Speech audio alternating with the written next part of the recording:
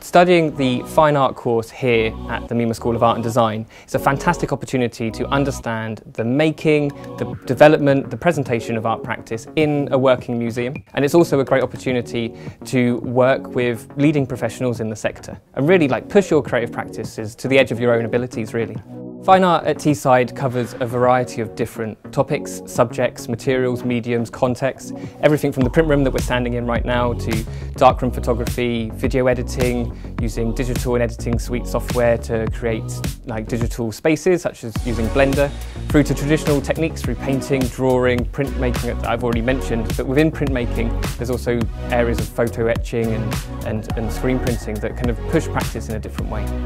We have lots of students that come with a set expectation maybe of what their practice will be and then once they're in the course with their peers, with the staff, their eyes are opened up to loads more opportunities. So students that might come originally wanting to do very particular types of paintings or video works might leave actually doing performance-based practice because what they're doing is they're exploring their ideas and looking for the mediums, materials and making processes that actually make them pop. And I think that everyone should have the opportunity to study a creative practice, whether that's art, whether that's design, whether that's graphics, whether that's interiors, whether that's product or fashion. What you're looking at is the way in which objects and things around us affect the way that we live,